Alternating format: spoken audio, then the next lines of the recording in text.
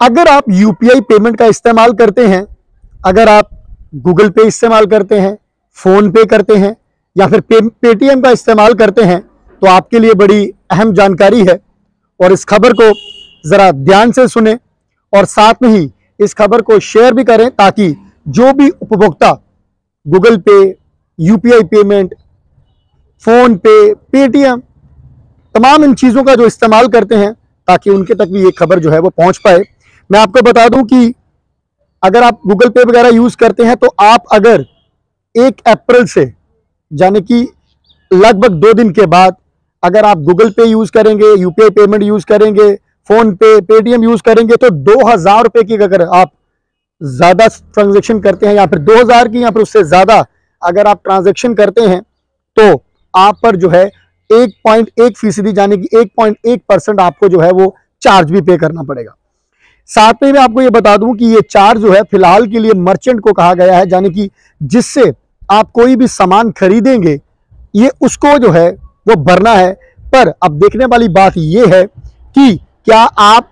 उसे पे करते हैं या मर्चेंट पे करेगा? पर जो डायरेक्शंस दी गई हैं, वो उस दुकानदार के लिए दी गई हैं। तमाम जितने भी ग्राहक होंगे, जो ग्राहक सामान खरीदने जाएँगे, अगर वो 2000 से ज़्यादा का सामान खरीदते हैं, कोई भी बड़ी 2000 से ऊपर ट्रांजैक्शन करते हैं तो 1.1 फ़ीसदी जो चार्ज लगेगा, वो मर्चेंट को लगेगा। पर हम लोग कई बार देखते हैं कि अगर आप कोई फॉर्म ही भरने के लिए जाते हैं, या फिर आप कोई रिचार्ज कई बार जो है, किसी भी डिश का आप रिचार्ज करवाने के लिए जाते हैं तो कई बार ऐसा होता है कि आप लोग जो है, दस बीस रुपए उनको सादा देते हैं और वो कस्टमर से मांगते हैं डिमांड करते हैं कि हमारे ये चार्जेस कटेंगे। पर यहाँ पर देखने वाला ये है कि अगर आप यूपीआई पेमेंट के ज़रिए अगर आप 2000 से ऊपर ट्रांजैक्शन करेंगे तो वो जो चार्जेस हैं, वो साफ़ तौर पर डायरेक्शन दी गई है कि मर्चेंट यानी कि जो दुकानदार रहेगा, उसे पे करने हैं, ना कि कस्टमर को पे करने हैं। और सबसे बड़ी बात मैं आपको ये बता दूँ कि मंगलवार को एक रिपोर्ट में कहा गया है कि एक अप्रैल से यूपीआई लेन देन महँगा होने वाला है।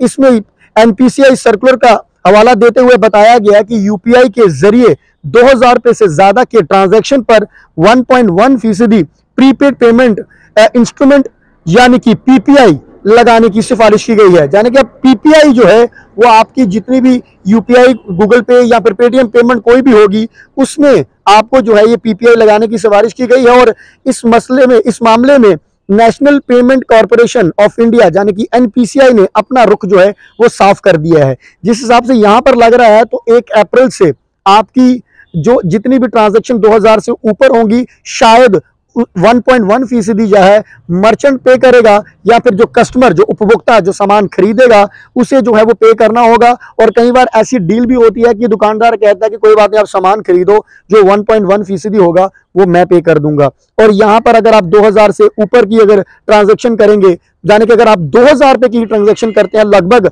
बाईस रुपए जो है, बीस बाईस रुपए जो है, वो आपको एक्स्ट्रा पे करने होंगे, जो कि एक्स्ट्रा पे इसलिए करने हैं क्योंकि आप नई डायरेक्शन के मुताबिक अप्रैल के बाद जो भी शॉपिंग 2000 से ऊपर करेंगे। उसके लिए साफ़ तौर पर यहाँ पर कह दिया गया है कि आपको एक्स्ट्रा चार्जेस जो हैं, वो पे करने हैं। और बड़ी बार हम लोग देखते थे, आप तमाम जो है, वो गूगल पे कर देते थे। एक मिनट में आप पेटीएम कर देते थे, या फिर किसी को आप ट्रांसफ़र पेमेंट जो है, वो आप उसी, उसके ज़रिए जो है, वो आप कर देते थे। तो आप, अब आपको जो है, कोई भी अगर ऐसा सामान खरीदना होगा तो आपको वन पॉइंट वन फ़ीसदी जो है, वो एक्स्ट्रा चार्जेस जो है, वो पे करना होगा। और दो दिन के बाद, यानी कि एक अप्रैल को, दो हज़ार तेईस से नया वित्त वर्ष, यानी कि न्यू फाइनेंशियल ईयर जो है, वो शुरू होने जा रहा है और इसकी शुरुआत के साथ ही यूपीआई से लेन देन यूपीआई ट्रांजेक्शन भी महँगा होने वाला है। मंगलवार को जारी रिपोर्ट में कहा गया है कि national payment corporation of India यानी कि एनपीसीआई ने दो हज़ार रुपए से अधिक के मर्चेंट पेमेंट पर पीपीआई चार्ज लगाने की सिफारिश की है। अब यहाँ पर आप देखें कि मर्चेंट पेमेंट की बात की गई है, यानी कि जो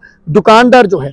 उसको जो है वो पीपीआई चार्ज जो है वो उसको लगेगा और वो चार्ज जो है वो 1.1 फ़ीसदी लगेगा और इन खबरों पर एनपीसीआई ने एक प्रेस रिलीज़ जारी कर अपना रुख जो है वो साफ़ कर दिया है। और कोर्ट में भी ये भी बताया गया है कि मंगलवार को जारी मीडिया रिपोर्ट में कहा गया था कि एनपीसीआई ने प्रीपेड पेमेंट यूनाइटेड यानी कि पीपीआई लगाने की तैयारी की है। ये चार्ज 0.5 से लेकर 1.1 फ़ीसदी लगाए जाने की सिफारिश की गई है। सर्कुलर में यूपीआई के ज़रिए दो हज़ार रुपए से ज़्यादा के ट्रांजैक्शन पर 1.1 फ़ीसदी प्रीपेड पेमेंट जो है वो आपको पीपीआई लगाने का सुझाव दिए जाने का ज़िक्र किया गया है। जो मर्चेंट ट्रांजेक्शन जाने की व्यापारियों को पेमेंट करने पर दे होगा। अब यहाँ पर साफ़ तौर पर कह दिया कि व्यापारी जो मर्चेंट होगा, उसी को ये पेमेंट जो है वो पे करनी है। और अब यहाँ पर मैं आपको साफ़ तौर पर कह दूँ कि ये जो बताया गया है। इस, इसमें सब साफ़ तौर पर कहा गया है कि मर्चेंट जो होगा, जो दुकानदार होगा, वो इस चीज़ का भुगतान करेगा। पर हम लोग कई बार देखते हैं कि इसके ऊपर जो है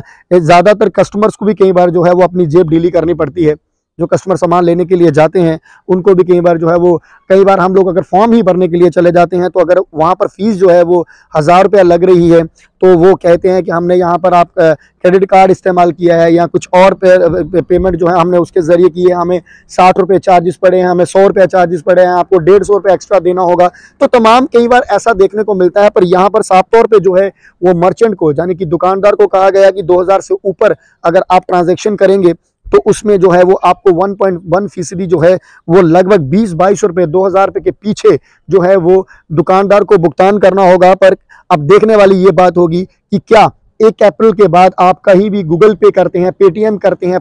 आप कहीं फ़ोन पे इस्तेमाल करते हैं यूपीआई पेमेंट करते हैं, वो क्या आपकी जेब उससे डीली होगी या फिर वो पेमेंट जो है, वो दुकानदार को पे करनी होगी। पर अगर आप ये सब चीज़ें इस्तेमाल करते हैं, आप यूपीआई पेमेंट के ज़रिए पेमेंट करते हैं तो आपके लिए ये बड़ी अहम खबर है। ये खबर आप शेयर भी ज़रूर करें ताकि जितने भी ये उपभोक्ता हैं जो इस चीज़ का इस्तेमाल करते हैं, तमाम जितने भी गूगल पे वगैरह इस्तेमाल करते हैं, उनके तक ये खबर पहुँच सके और ये जानकारी जो है वो तमाम उन यूज़र्स तक पहुँच सके और फ़िलहाल देखते रहे आप नई अपडेट के लिए एन एस एस टीवी जय हिंद, जय भारत, जय जम्मू।